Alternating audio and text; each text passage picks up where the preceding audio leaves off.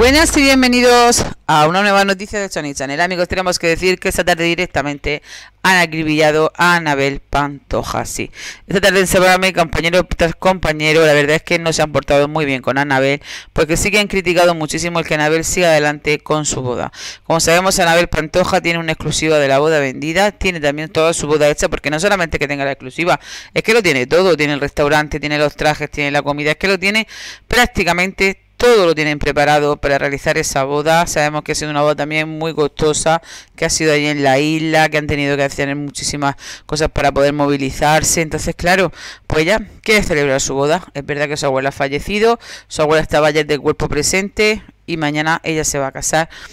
Algo que por supuesto que para muchísima gente pues lo ven muy pero que muy mal porque no ven bien que Anabel no solamente se vaya a casar mañana sin guardar ese riguroso duelo por su abuela, sino que además esté utilizando a su abuela, según palabras de Kiko Hernández y de Kiko Matamoros, para, en este caso, promocionar su boda. Según ellos han dado a entender, es como que ella quiere ahora dar un homenaje a su abuela dar un homenaje el día de su boda, cuando verdaderamente lo que dicen ellos es que está allí por temas económicos. Vamos a ver, nosotros pensamos que en este caso eh, no hay más, no siente más dolor nadie que puede sentirlo el enfermo.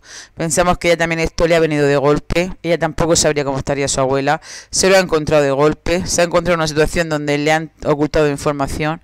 Ella tiene allí muchísima también gente, tiene muchísimas personas esperándola y verdaderamente tiene una exclusiva, tiene también forma parte también de su vida. Al fin y al cabo para esta gente eh, su vida es su trabajo, venden su imagen, venden su vida, forma parte de su trabajo. Entonces, claro, pues vemos bien que es verdad que podamos decir, oye, mira, está mal, oye, mira, mm, te vas, te vuelves a casarte, lo vemos mal que no suspendan la boda, porque tal. Pero tanto como a meter, el dedo en la llaga de esa forma esta tarde, todo el mundo opinando si sí, si no, si quiere a su abuela más, si la quiere menos, si Kiko la quiere más, si Kiko la quiere menos, si se va a casar, si va a ser todo por economía, si va a utilizar a su abuela de bandera, no sé. Pensamos que esta tarde sábado se ha pasado un poco con Anabel, porque pensamos que al fin y al cabo la que más dolor tiene que tener es ella, que no lo va a pasar para nada bien, que no se va a divertir y va a ser una boda de ensueño, imaginamos que no, y la verdad es que las cosas como son, cada uno pues cuando le tocan las cosas pues la ve desde un punto y de un prima distinto. Sea como sea, mañana Anabel Pantoja